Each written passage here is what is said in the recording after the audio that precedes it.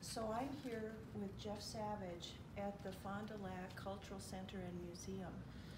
And the reason we're doing this is because if you're going to reimagine a place, it's great to really know it. And we think of creative placemaking actually as creative place knowing. And so we're here to learn from Jeff about the Anishinaabe people and other indigenous people, even before the Anishinaabe people, who were here and making a living and a life in this area before there were other uh, Europeans here at all. So Jeff, thank you very much for agreeing to do this interview with us. And I know that you've lived here a long time and you um, had everything to do with getting this museum started and recording the history of the Fond du Lac Band of Lake Superior Chippewa. So we would like you to tell us about the beginnings. Well, okay, well, give, just give a little bit of history of the area, and we're ta- talking about the uh, west end of Cloquet and, and kind of the area of the river at that spot and point is uh, the old migration trail from the Mississippi watershed over to the Lake Superior watershed or the other way for millennia went right through that area. It came down, they went like from Sandy Lake, there was a portage over to where Floodwood is today, and then from there down to uh, the uh, to that curve in the river. And uh, so it was used quite a bit. It was a well-known trail. And there's been lots of native people who've lived in this area for, for millennia. In fact, even up on, I think it's Boulder Lake, the University of Minnesota has an archaeological site that's over 7,000 years old. So there is a lot of uh, artifact history in the area of lots of different tribes that lived here. Right now, you, we're kind of known as the Anishinaabe or the Ojibwe who are living in this area right at this moment.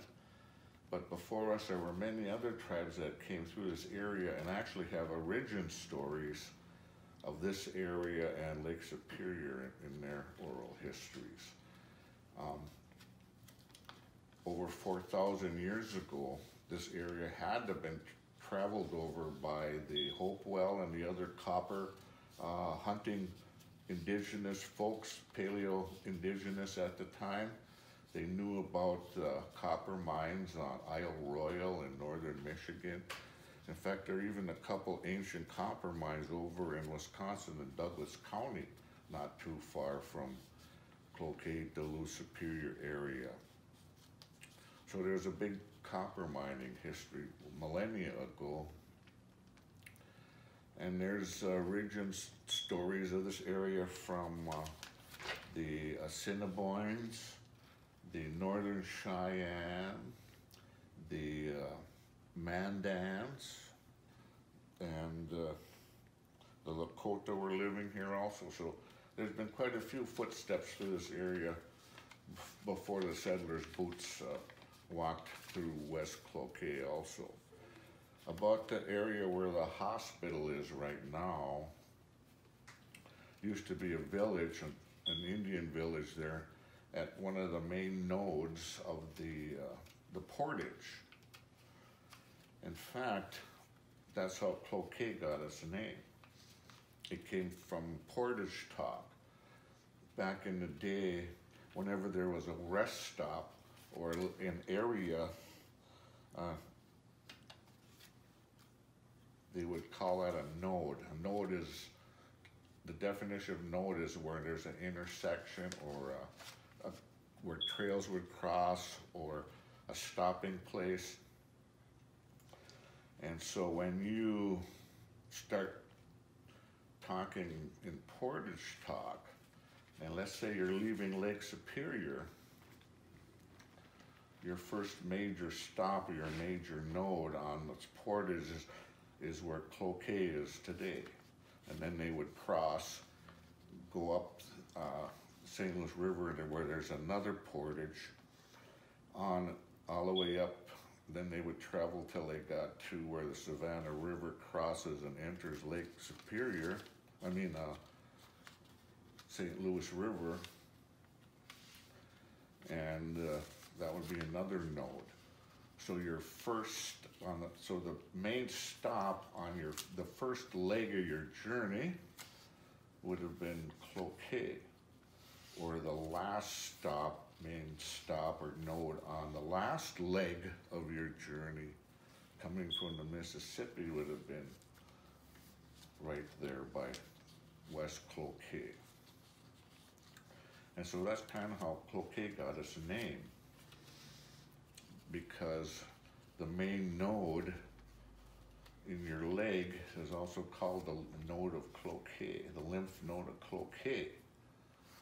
So that kind of fits in with that portage talk on the first leg of your journey, stopping at your main node. Someone, uh, I'm sure with some kind of medical background, traveling the portage, noted noted that the node, this was a main node, and they said, well, that's a, that's, the main node is known as Cloquet, the node of Cloquet, which is named after the doctor who discovered that main node in your leg, that lymph node in your leg. So Cloquet is named after lymph node, which is really portage talk that uh, it seems like uh, a lot of citizens in this country have a very short memory when it comes to history. And the reason for the name of Cloquet was forgotten very fast. It wasn't named after no priest. There was no priest, Father Cloquet. It was named after a physical feature that was very familiar to people back in those days because they had to butcher their own meat and things, so they knew the anatomy of animals and things a lot better than uh, people today. Most people uh, have never seen a whole chicken with its feathers on. they only see it wrapped in plastic at the grocery store. So a lot of that former speech and definitions of words has changed over time. What you made me think of is that the West End is a node, it's an intersection, it's a crossroads, it's a gathering place. And those are, are ideas that our creatives can use as they try to help reimagine um, a, a flourishing area there. Yeah, see, a lot of people have to understand the island had to have been used a lot. You know, it was a nice island. It was uh, a spot on the, uh, right on the river for stopping your canoes and that. So it had to be a, a good gathering spot before even um, the European settlers came here. We have a history in this area of burial mounds. There were some up here on top of the river and if you literally leave West Cloquet to come up here, you'd be walking pretty much where uh, the streets are right now to come up to this area where we have these three small lakes, which was uh, ha which had a burial mound on it, so it was well known and and well used long before uh, the uh, Europeans came to this area. So there's a lot of it was well known and well used. And uh, so. We are so fortunate to have our own cultural center and museum and uh, culture fair in you here. Uh, and how long has the museum been here?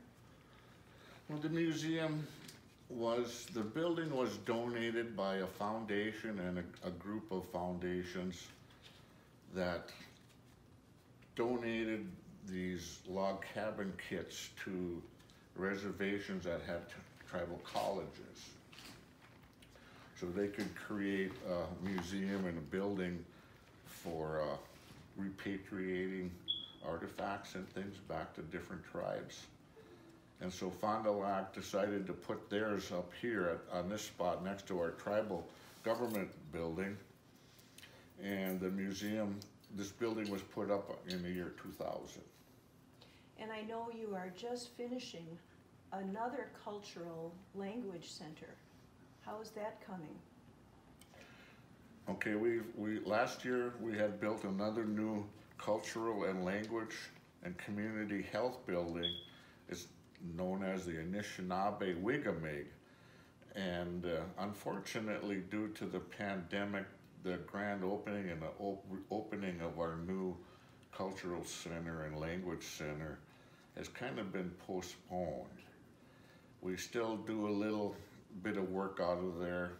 We're trying to help community members reconnect with different seasonal and cultural activities and preserve our, our dying uh, Anishinaabe language. So we're working steadily on that. Um, hopefully later this summer, uh, things will open up a little more and everybody go get vaccinated so that uh, we can get over this pa- pandemic and get on with uh, life and live in the four seasons.